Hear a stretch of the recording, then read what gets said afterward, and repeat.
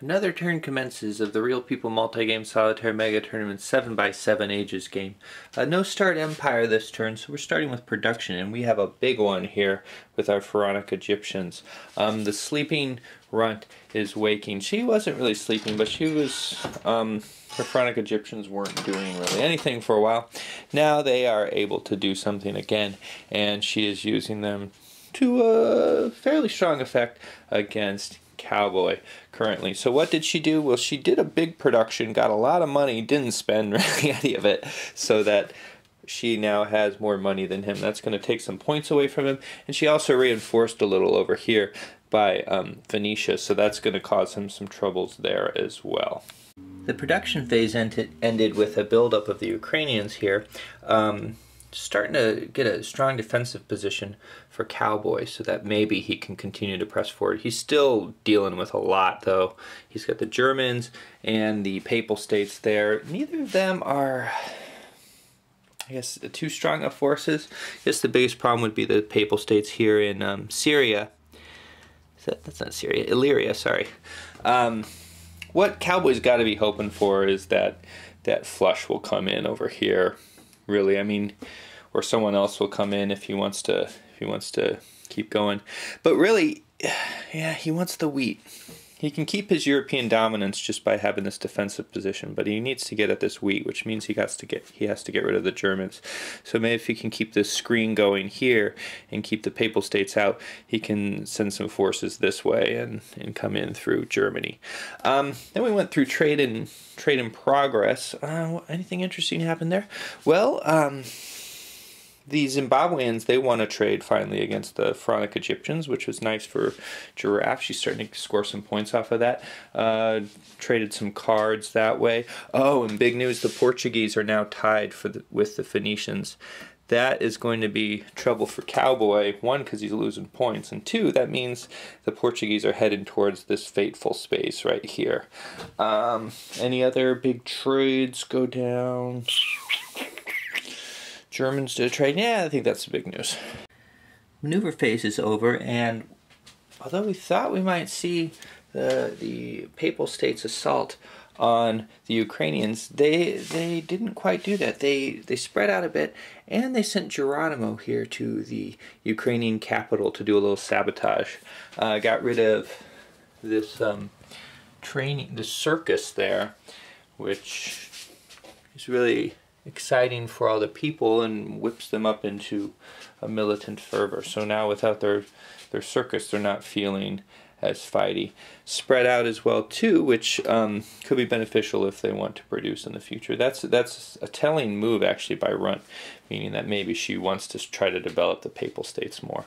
But by spreading out, you know, again that competes with her Germans, which is trouble. Uh, the only other maneuver was the English, who now have um, an equal command of the seas as the Japanese. Unfortunately, well, I think the Japanese, they have a philosopher, which means they win ties. Uh, I don't know. Who do they have? I'll have to look. I've kind of got a mess here that I have to. Yeah, yeah, Sam here. He's a philosopher, and he's right there. So, um, so Flush will still win that because Hickok is not a philosopher. It's looking like it's going to be a vicious civilized phase so far. Um, Fleshardy, he caused an uprising in the Free State and then followed it up with a. Oh, did he even play the card? I just knew he was going to do it, but Empire collapses. Uh, so what that did was it got rid of the uprising, put some disorder down, and he got a really lucky draw. But then Giraffe also got a super lucky draw too, so it minimized the damage. Um, so that puts disorder down, and then the collapse gets rid of anything that's disordered and puts disorder where there is no disorder. So, you know, he had he had the potential to put down a ton of disorder. He only put down two, um, got rid of both those units, which is, I mean, the Free State's going to have a hard time recovering from that.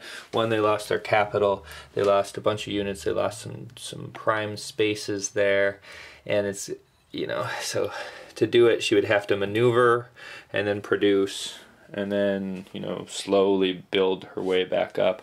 She's not going to have that big oomph of units as when you first start an empire. That might be the end of them after this turn. Giraffe responded to the attack on her free state by doing a couple things. First thing, she caused a plague in Japan. Um, if you recall from before, that's that's the Japanese's big weakness um, because they're so far back in in age that um, it's just really easy to hurt them in that way. Um, I'm just realizing I made a mistake. This was the the Plains Americans marker. Cowboys should have two gray counter sets instead of having a black and a blue. So that's an error I made. Um, but we're just going to go with it. Next time he has an if if Ukrainians or the English leave him though, he's going to have to use his light gray. I'm not going to. I'm going to try to remember that. So anyway, they're they're particularly weak to plague, but they got lucky and the plague didn't go that far. However, that did um, knock him down a, a knock flush down a, a peg, so uh, a, a piece of area, so that the Mongols were able to take the Northeast Asia point, which was good for Giraffe. The other thing she did was she caused a jihad here on Portuguese territory. Uh, if you remember, the Free State, or not the Free State, the Papal States, they became uh, Muslim last time so that they could get rid of the jihad here.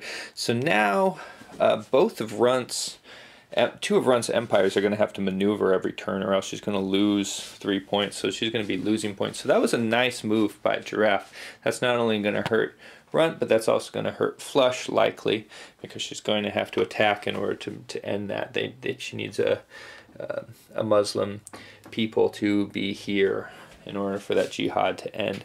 Uh, let's take a look at our points. Not a lot changed this turn. Um, I think everyone scored 12 except for Cowboy. Well, Cowboy scored 11, so in the 12 range. And then poor Giraffe, she scored a total of seven overall after she got after her trade bonus here.